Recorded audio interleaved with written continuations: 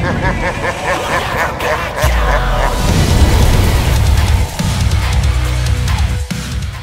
What is going on guys? It is Fatal Reaper Day, bringing you another video on the HP Pavilion gaming laptop. Before we continue guys, be sure to hit that like button and subscribe. What you are seeing here is right now we are playing 7 Days to Die. So I do have them on medium settings. I did do an ultra settings, and I was going to do a video on that, but it happened to crash. The game crashed three times. Now I know what you're thinking, oh no, this is a game the HP Pavilion gaming laptop can't handle, or, you know, maybe it's hitting, hitting its uh, peak. However, let me just clarify this and give you a few disclaimers.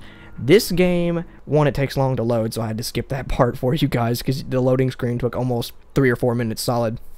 My main PC, which is about a, um, it's a 2070 Super, it's about a $2,000 gaming setup in all with the monitors and everything, and it still crashes on this game. Seven Days to Die is known for crashing, and we did have a little bit of a pause, as you can see right there, a few times here and there.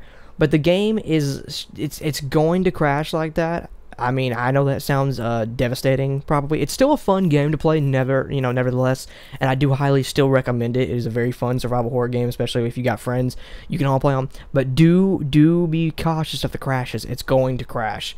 So don't let that discourage you though. Again, it crashes on my main PC. I get about maybe 100 FPS on it on my main PC, and I still crash we were playing about a year ago when I had this PC and the PC setup I had before, and it crashed literally seven times, and we had to keep joining before it did.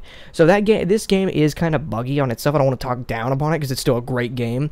But if they could fi ever fix that development in it, um, I think it would be an enormously amazing game. I would definitely I, I, it would go toe to toe in my mind with Minecraft is how I would view it.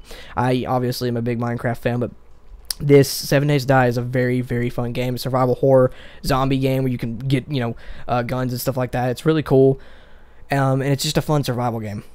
Uh, we did get about 50, 60 FPS here and there soon. Um, with uh, medium settings, I do recommend playing on medium settings. If you put it on ultra, you are probably going to crash. I crashed about twice trying to do ultra. It did play it, and I was able to get stable gameplay, but again, it crashed.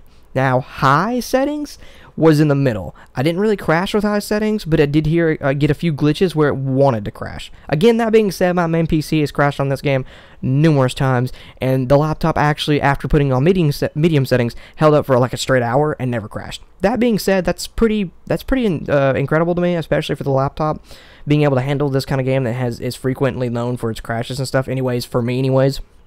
Leave me some comments down below what you guys think. I uh, don't know how you know if this is a common thing or this is just for me and my friends. We all we all had it crash on us uh, constantly. But that being said, guys, it still handled very well, and this gameplay was solid. With after the few little um, pauses and everything after I kind of got going. There was really no issues with it, and it played solidly. I played it again for like an hour or two with no crashes after changing the settings and had no issues. So, again, guys, I hope you enjoy this video. Let me know now in the comments below what you want to see later. Um, we're going to be bringing you more and more videos, and we'll be doing some Let's Plays here soon on maybe some horror games like this. Uh, we'll be doing some Modern Warfare here. I got a few Modern Warfare ideas of search and destroy games I played and stuff like that. Tons of ideas coming, guys. Just be sure you like and subscribe and hit the notification bell, and I'll see you guys in the next video. Thanks for watching.